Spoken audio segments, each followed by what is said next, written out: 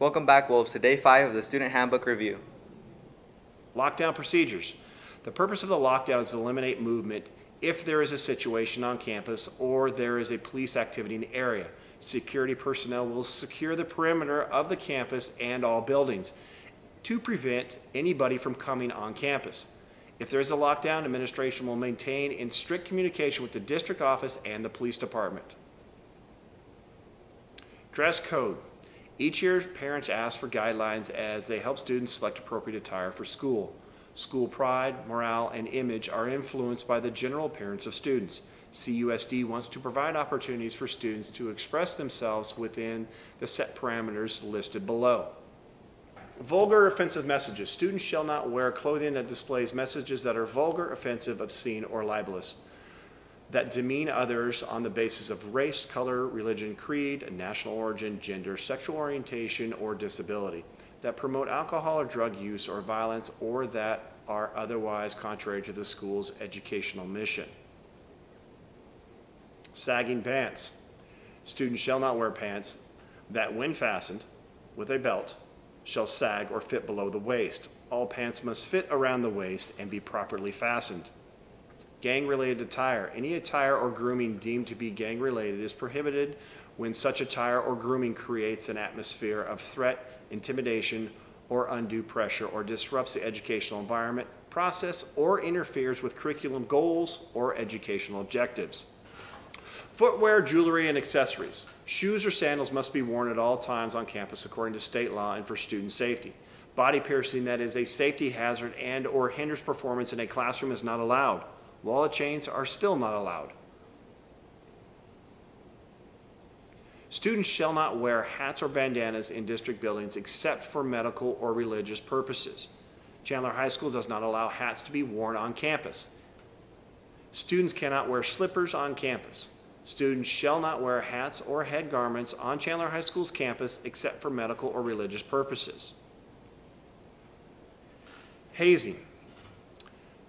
There shall be no hazing, soliciting to engage in hazing, or aiding or abetting another who is engaged in hazing, or any person enrolled, accepted for or promoted to enrollment, or intending to enroll or be promoted to district schools within 12 calendar months.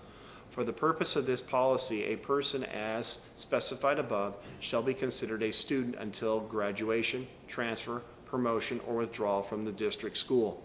Hazing means any intentional, knowing, or reckless act committed by a student, whether individually or in concert with other persons against another student, and which both of the following apply. The act was committed in connection with an initiation into an affiliation or the maintenance of membership in an organization that is affiliated with an educational institution.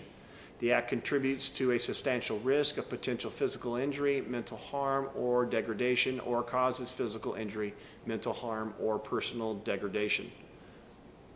Bullying, harassment, intimidation. First, we're going to cover cyberbullying. Any act of bullying committed by the use of electronic technology or electronic communication devices telephone devices, social networking, internet on school computers, networks, forums, mailing lists, or other district-owned property, and by means of individual personal electronic media equipment.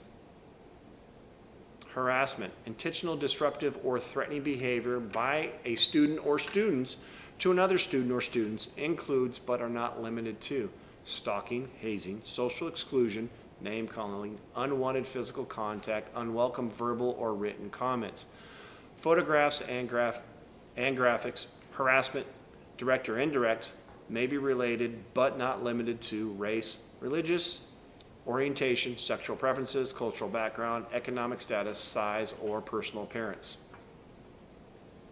Intimidation.